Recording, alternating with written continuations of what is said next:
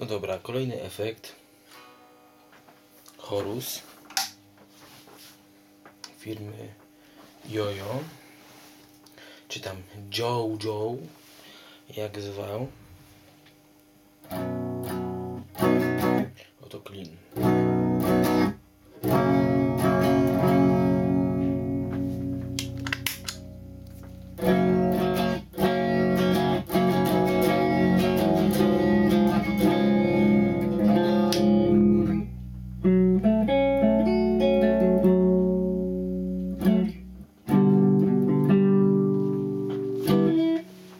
Już widać, jest efekt na zerowych ustawieniach, można powiedzieć.